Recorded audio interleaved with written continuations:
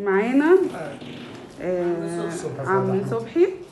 إحنا ما شاء الله حالة التهاب أعصاب طرفية وقدم سكري وكانت رجلينا مفتوحة وكانت خلاص هن- هنبتر الرجل دي خالص.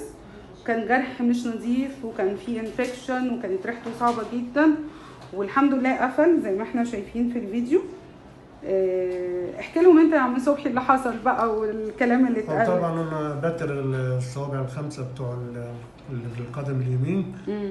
ولما كنت في البلد وكده كنت حسيت إن رجليا التانية هتخش زي تعمل زي.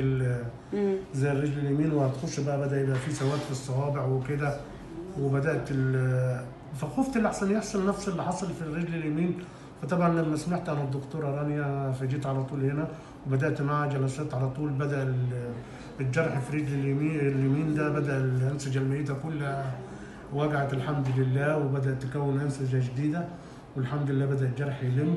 كمان الرجل اليمين بدأ الالتهاب اللي كان فيها الالتهاب كان رهيب. الالتهاب لدرجة ان ما كنتش بقدر أحرك صوابعي. دلوقتي شوف حضرتك الصوابع بتتحرك الحمد لله بدأ الالتهاب يخف.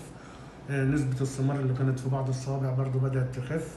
والحمد لله وده بفضل الدكتورة رانيا طبعا الحمد لله بعد ربنا.